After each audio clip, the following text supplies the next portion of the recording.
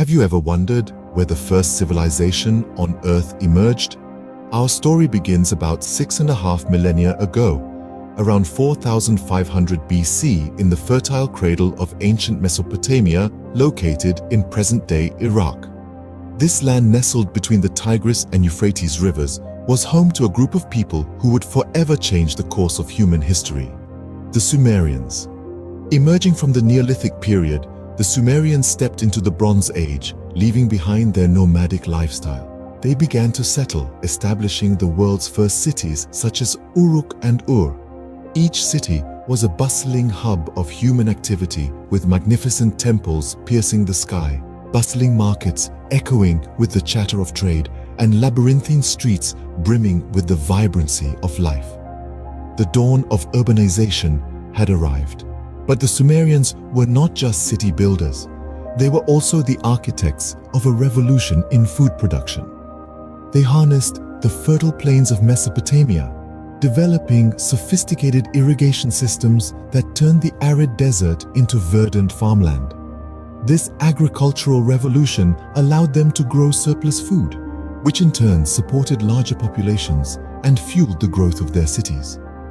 Yet, the Sumerians' ingenuity didn't stop there. Picture this. A time when the concept of a wheel was as alien as a smartphone would have been to a medieval knight. It was the Sumerians who first invented the wheel, a simple yet revolutionary tool that transformed transportation, warfare, and countless other aspects of daily life. From the establishment of the first cities to the development of agriculture and the invention of the wheel, the Sumerians were pioneers in many ways.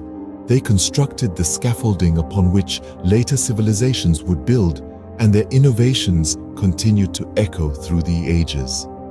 Thus began the journey of mankind's first civilization, setting the stage for a series of remarkable innovations. Can you imagine a time when cities were a novel idea? Let's transport ourselves back to around 3000 BC to the fertile plains of Mesopotamia, where the concept of urban life was just beginning to take root. Here, in what is now southern Iraq, the Sumerians started to build the world's first city-states. Each of these city-states, such as Uruk, Ur, and Lagash, was a self-governing entity with its own ruler, its own gods, and its own distinct culture. These were not merely clusters of dwellings, but complex societies with a structured hierarchy. Uruk, for instance, was one of the most significant city-states of ancient Sumer. It was a bustling hub of commerce, religion, and politics. The city's ziggurat, a massive stepped tower dedicated to the sky god Anu, stood as a testament to the city's religious fervor and architectural prowess. Then there was Ur, another influential city-state, known for its advanced system of administration. The rulers of Ur maintained detailed records of their economic transactions, revealing a complex and well-regulated economy. Lagash, on the other hand, was renowned for its art and literature. The city was the birthplace of some of the earliest forms of narrative art and poetry, providing a glimpse into the aesthetic sensibilities of the Sumerians. These city-states were not just centers of political power, but also the epicenters of religious, economic, and cultural life. The rulers of these city-states were often seen as intermediaries between the people and the gods, and their rule was considered to be divinely ordained. The economy was largely agrarian, but trade with neighboring regions was also an integral part of their economic life.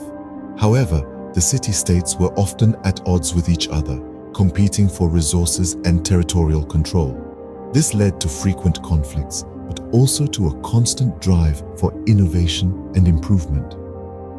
These city-states, each with its own unique identity, formed the backbone of the Sumerian civilization. They were the cradle of civilization, setting the stage for the development of complex societies in the millennia to come. How would you communicate if you couldn't write or read? Imagine a world without letters, without words, this was the reality for people until around 5,000 years ago. But then, in the cradle of civilization, in the city-states of Sumer, a revolution was brewing. a revolution that would forever change the way humans communicate, record, and understand their world. This was the birth of cuneiform, the world's first known writing system.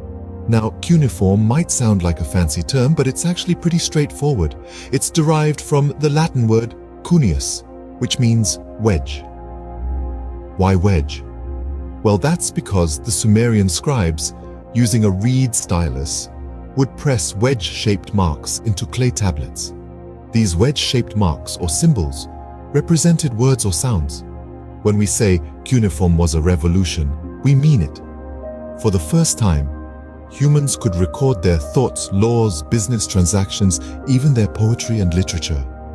It was no longer a world of mere spoken words.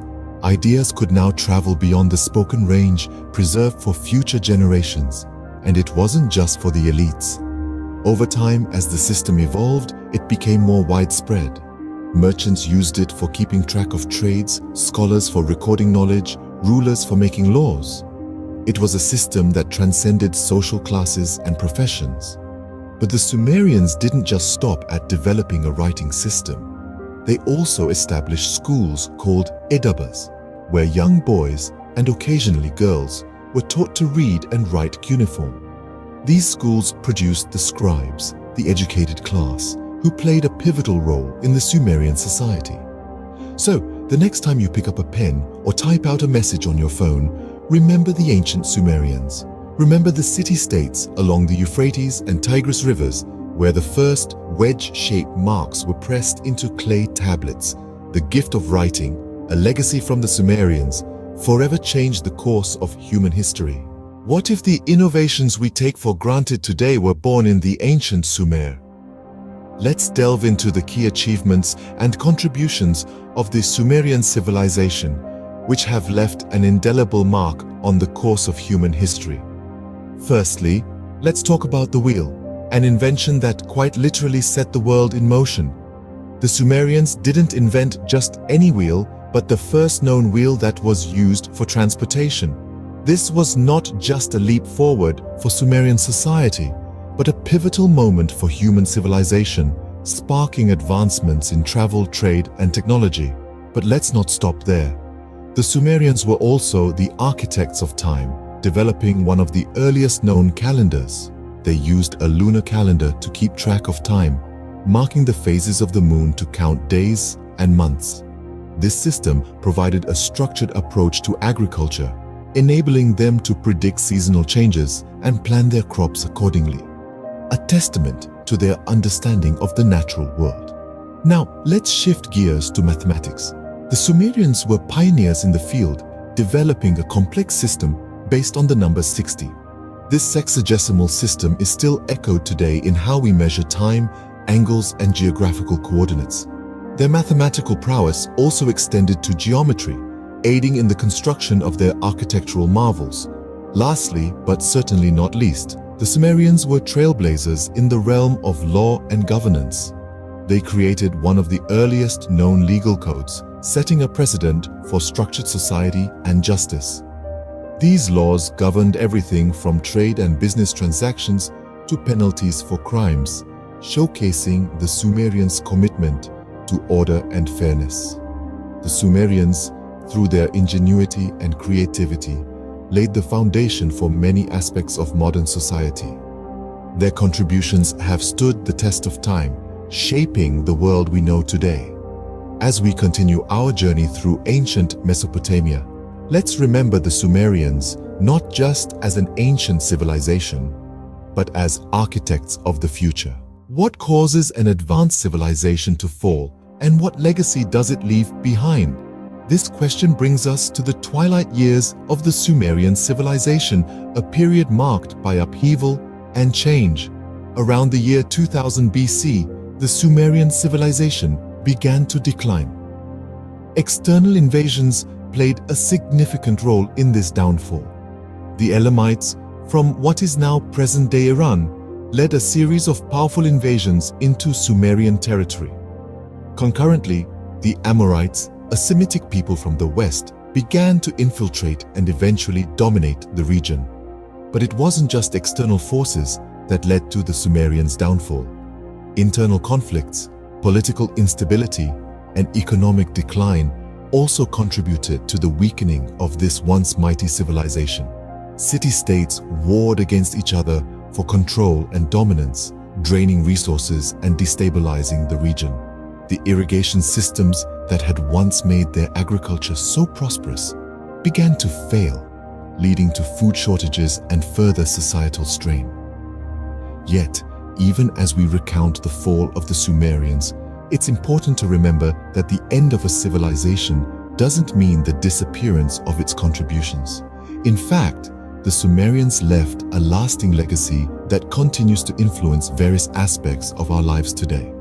Their writing system, cuneiform, was the first written language in human history. It served as a foundation for subsequent scripts and continues to be a focal point of study for historians and linguists. The Sumerians' legal codes, particularly the Code of Ur-Nammu, influenced later legal systems and laid the groundwork for the concept of rule of law.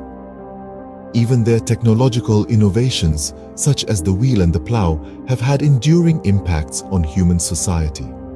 So as we reflect on the fall of the Sumerians, let's also remember their rich legacy. Their civilization may have crumbled, but their contributions have stood the test of time, shaping the course of human history. Though the Sumerian civilization may have fallen, its contributions to humanity continue to resonate throughout the ages.